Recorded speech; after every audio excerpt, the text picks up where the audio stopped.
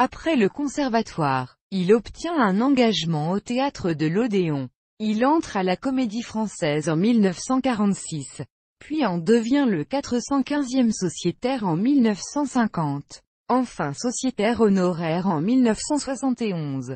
Sa carrière théâtrale est particulièrement riche. Au cinéma, ses apparitions sont circonscrites à ses brillants second rôles, sans lesquels le cinéma français serait infiniment moins varié. À la comédie française, parmi les pièces classiques, il a joué notamment l'avare de Molière, dans le rôle d'Arpagon, ou encore l'école des femmes et les femmes savantes. Il a également joué des pièces plus récentes, comme celle d'Eugène Labiche, de Georges Feydeau, de Luigi Pirandello ou de Anton Tchekhov. Il a fait quatre apparitions dans l'émission télévisée au théâtre ce soir et dans de nombreuses autres séries ou téléfilms.